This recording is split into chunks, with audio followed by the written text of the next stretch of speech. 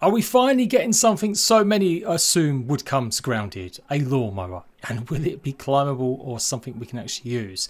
Well, from Dan Bull's music video that Grounded have collabed with yesterday, there is a clue that yes, a lawnmower may come to Grounded in the future. We're also going to go over the more exciting stuff for me as well, that we are going to be able to put turrets on walls and a whole host of changes already in the PTB. Now remember, the PTB is not live for everyone yet. I'm kind of expecting it to be Wednesday now, with obviously just after the Casually Grounded stream. The devs love teasing us and showing us a surprise, so I expect them to announce it at some point after that. But here's the latest round of changes with lots of stuff going on from the patch last night. So the glue factory has got its own actual stand now and it's just the old mixer. If you remember back in the day, that's what the mixer used to look like, I'm pretty sure. Before it got a nice snazzy kind of redo. But that's it, that's what the glue factory is looking like now. I think that will still be temporary, but you never know, it could be the one that they're going to go with. And they have made it now that you can put other bug parts in here to make glue too. Namely, more spider parts and black ox parts, but they've also increased the cost of some of these. 8 spider chunks now to get 1 glue, 2 roly-polies, 6 stink bug parts, 5 ladybug parts, 5 bombardier parts, 3 antlion parts, 4 termite parts, and 2 black ox parts. I do kind of still wish this had more on it. I, you know, maybe I'm asking for too much here, but I think a lot of you guys still probably have a lot of other bug parts that you just simply aren't using, unless there's going to be use for them in the future, I guess. But I guess that would maybe make it a bit too easy to go ahead and repair. The idea is that you've got great weapons, you repair them, but it's going to come at some sort of cost. Instead of having to go and find them ingredients, you can just simply go ahead and use these once they're upgraded past level 5 till 9. They've also shown the health rating of the creatures now properly. All the cards should do. So you can see the ant here is just one heart. Then we've got black ants two hearts, ladybugs two hearts, bees two hearts. Sickly roly-poly two hearts, but the original roly-poly, the proper one, three hearts. So it looks like three hearts might be the max. As the assistant manager's still three hearts. It's got to be like the brood mother's got to be a four heart one, surely. Infected wolf spider's still only three hearts. Yeah, the Broodmother is four hearts. Again, another great little touch. I'm absolutely loving these cards. I can't wait to come up with some challenges or videos based around getting the gold ones. They have made the Waft Provoker a lot more expensive to craft now. You're going to need two Ladybug parts, a Ladybug head, four Bug Goops and five Clay. I think it was a lot easier than that beforehand. That's not the end of the world, but yeah, it definitely reflects more about what it actually looks like now. Although the obvious is pretty there, it's actually a ladybird, not a ladybug parts. I think in the future we will get actual separate parts for a lot of the other bugs. The green shield bug has now got its own parts that you have to use to make the torch and maybe a shield in future. And I think they're going to do the same with the other variants. Then a few things to do with like the mixer apparently it's had a more animation and making noise again when activated. That was a bit of a bug.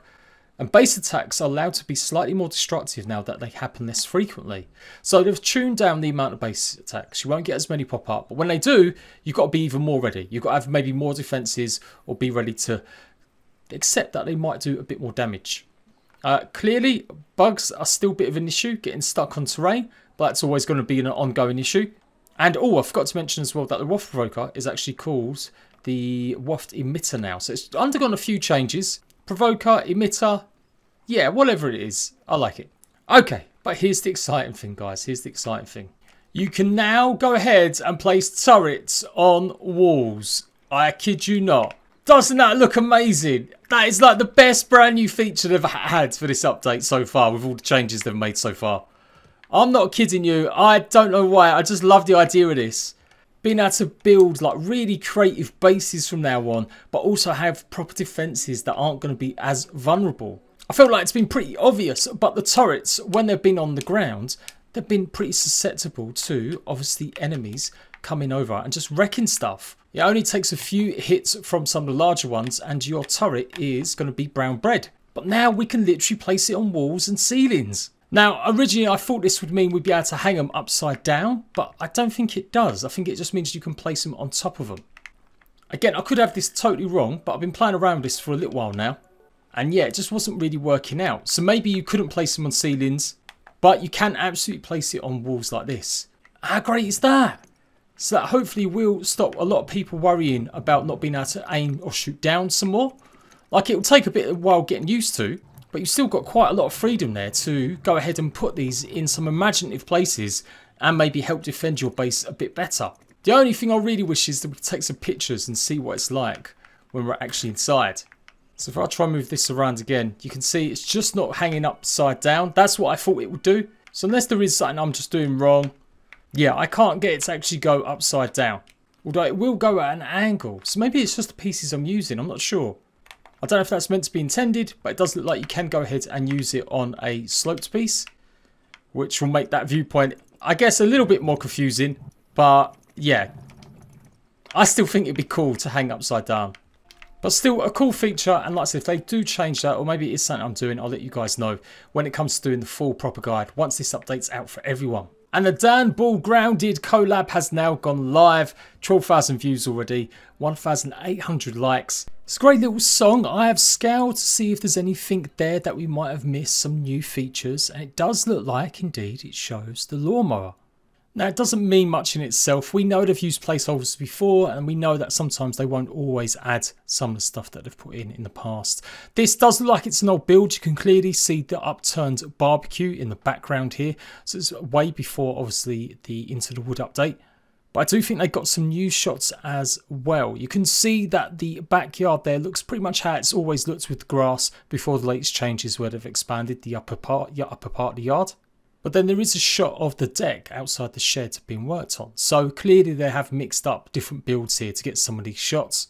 And I present to you my evidence, your honour, just underneath the crow's feathers or the wing on his right, just next to the oak tree, you can see that dark shape. Now that isn't the oak tree because that's been missing the stump that was in there. That's not been in any updates for absolutely ages and does look like there's some sort of bush, bush at the back of it at least. Man, my words today are just not coming out right. But yeah, you get the idea. It's definitely shiny at the front, and I'm only hoping that it actually works. Imagine if you get killed by the rotating blades. I'm pretty sure they won't have that. But it'd be so cool if that ends up being like a changing event. Imagine you click it on and the lawnmower just goes wild. Starts tearing up all the grass around it, leaving some sort of wasteland.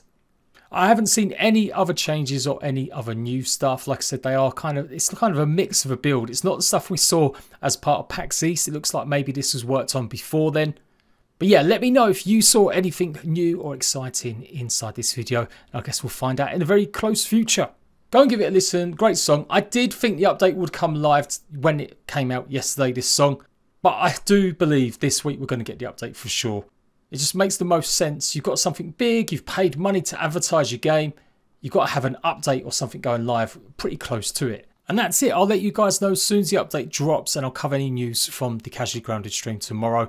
If you haven't become a member yet, think about it. Supporting my channel gets you some exclusive access to stuff. I'm currently finishing off my 50 days of grounded survival ready for the Bug Strike back update. So that video is hoped going to come live in the next few days as well. And thank you so much for the support. You know, the channel's nearly at 4,500 subs.